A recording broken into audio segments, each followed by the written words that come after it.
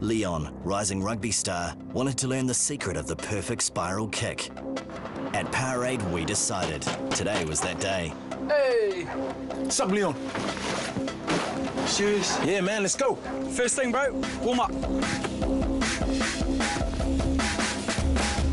Stay hydrated, boys. Powerade replaces lost fluids fast to keep you at your peak. So, Leon, you want to know the secret now? Bueno, digo, me quedó un sabor amargo. Creo que, que Córdoba no pudo encontrar la vuelta. ¿Coincidimos? Coincidimos totalmente, creo que pagamos muy, muy, muy caro los, los detalles, las equivocaciones que tuvimos por no sacar pelotas afuera en momentos clave, al fin del primer tiempo, una pelota que tendría que haber ido afuera, nos viene un try de ellos, un penal abajo los palos, eh, un penal estando dos puntos abajo para ir al line, la dejamos adentro.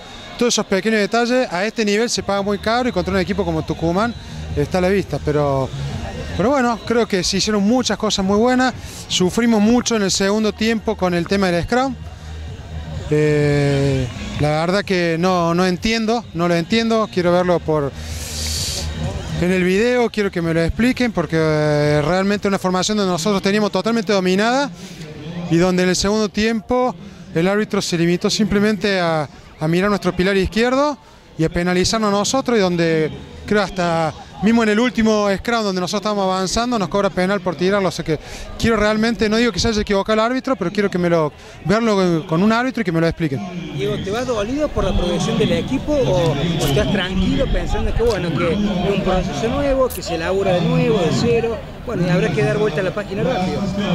Eh, nosotros apuntamos a un proceso, obviamente, no me gusta perder a nada, ni un partido, así que creo que de acá a 15, 20 minutos, una hora, un día, cuando haya digerido un poco esta derrota, eh, seguiremos sumando.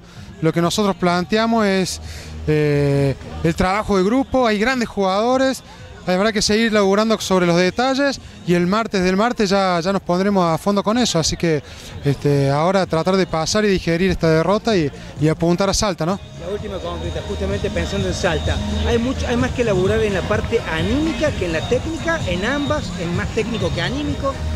No, yo creo que la anímica está, está muy bien, un equipo con, con muchos jugadores de mucho roce, de mucha experiencia, de mucho rodaje, este, trabajar sobre todo en los detalles en los detalles. Creo que lo importante ahora es poder terminar los próximos tres partidos con la cabeza bien alta, con una buena identidad de Córdoba y, demostrando que realmente se han hecho cosas muy buenas y que Córdoba realmente los jugadores tienen muchas ganas de, de vestir la, la roja, ¿no?